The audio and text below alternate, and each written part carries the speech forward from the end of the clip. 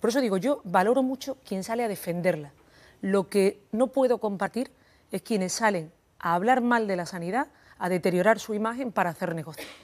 Y me llama la atención, me llama la atención cuando la derecha y la izquierda, que resulta inútil a la inmensa mayoría de la sociedad, pero muy útil a esa derecha, se dan la mano en la sanidad.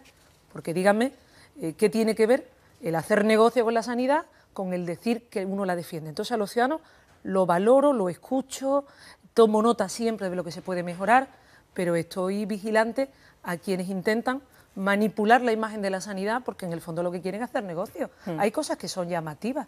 Al final uno dice, bueno, ¿cómo es posible que determinados eh, hospitales privados hagan una OPA permanente a la sanidad pública? Porque aquí hay mucho dinero, hay 10.000 millones en la sanidad pública en Andalucía. 10.000 millones. Pues claro, algunos están deseando que eso pase a engrosar las cuentas de grandes compañías privadas.